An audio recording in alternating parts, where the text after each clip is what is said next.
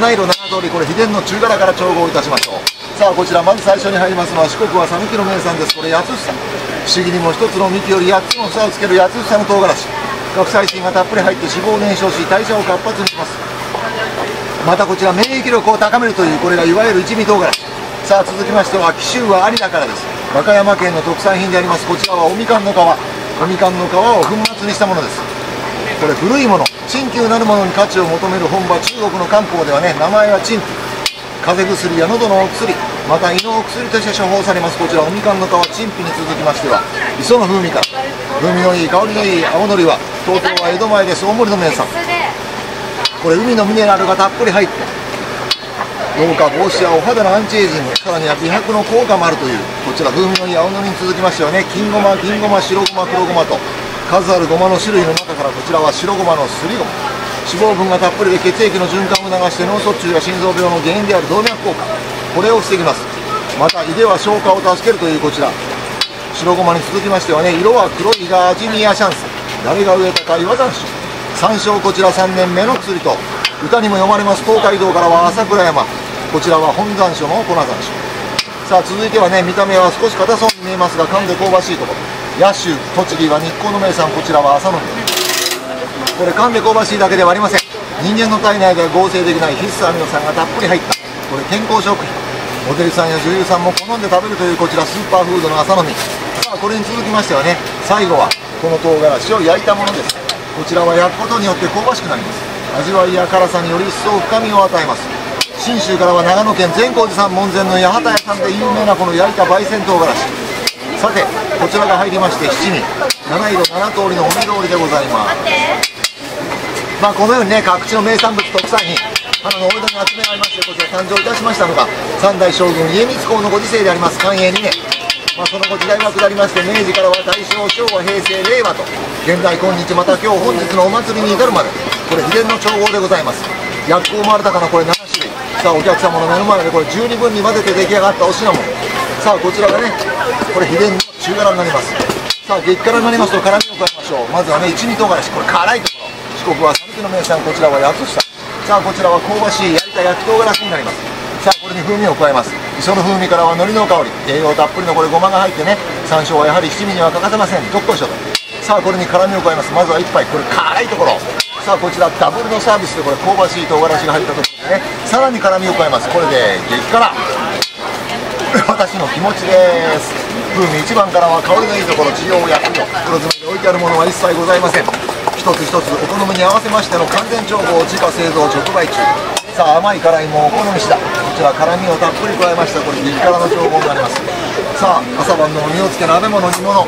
焼肉からまた煮魚焼き魚おうどんおそばおしんこ納豆といろんなお料理にかけて召し上がってください。風味一番からは香り一番。これ体にいいものばかり七味七色七通りでございます。需要薬用と尊ばれました7位三代将軍前日公のご時世よりも令和の現代まで続きます400年の歴史と伝統からのね風味一番でございます大変ありがとうございます。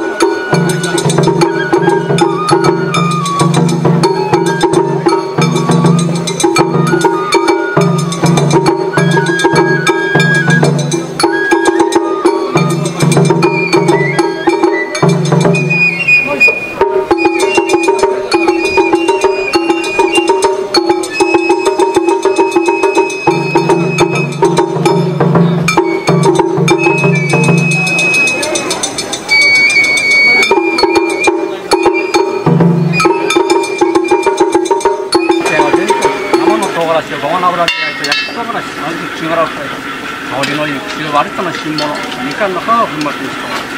包丁で薬剤の原料として使うまた革命がチーム江戸は東京から大森松葉にまた松葉のように散りばめたところから松葉をむっと。のりはまた苦しゅう満点。銀ごま銀ごま黒ごまと数える中では埼玉県の川越名産すりごま動脈とまた老化現象を助けてやはり死に欠かせないのが最初の工程大正3年目の北に打たれた東海道桜山の岩屋また見た目は硬そうだが感じで香ばしい野州は実技の名産で朝の動機火切れまた人間の嫌な体重から交渉によって攻めてくるまずこちらシングルダブルのサービス大柄になります。あらあいところ全国の焼きとうね最初の香りまたごまの脂肪人が大柄になりこちらが大柄でこの私の新薬は最初がよく入った香りが出来上がったらこちらが大柄になりますね、香りと風味香りがなかったら気になってね香りと風味このぐらい香りが風味ということが香り香りといったら風味それがやめて一つの香り香りがこの器が大柄になりますはい、いつもありがとうございます。どうもね。いいところで混ぜていきましょう各地の名産物でございますまずは辛さベース中辛さあまずこちら四国讃岐の名産八つ房からいきます鷹の爪のこれ金本ね辛口のナンバーワン鷹の爪の純物に紀州有田からは新物のおみかこのみかん学名陳皮と呼ばれております。こちらみかんの皮を粉末にしたもの。またその香りを味わいましょう。江戸は東京からです。松葉園から松葉のり。金ごま銀ごま黒ごま白ごまと数ある4つの中から。埼玉県からは武州川越の名産物。白ごまのすりごま。また香りといえばナンバーワンとなっております。こちら東海道から。朝倉山の本山椒の粉山椒。また噛んで香ばしいのが野州栃木の名産物。日光名産物朝の実が入ります。最後生の唐辛子ごまの油で焼きました信州。長野善光寺の名産物焼いた焼き唐辛子から七色のこれお目通り七味となっております。7種類から。さあこれも各地の名産物から名産品これも混ぜて出来上がりました。品物からは一般ご家庭用辛さ中辛になります。こちら七味唐辛子は香りからまた風味風味と香りで味わいましょう。製造直売サンドサンドの食卓の友でございます。さあ激辛になります。とこれに辛みを加えたところは激辛。鷹の爪の純物の辛いところから焼いた焼き唐辛子を加えて激辛に変わります。さらに香りを加えます。海苔の香りから特製ごま。山椒の香りを加えたところは激辛。まず辛いところシングルからいきます。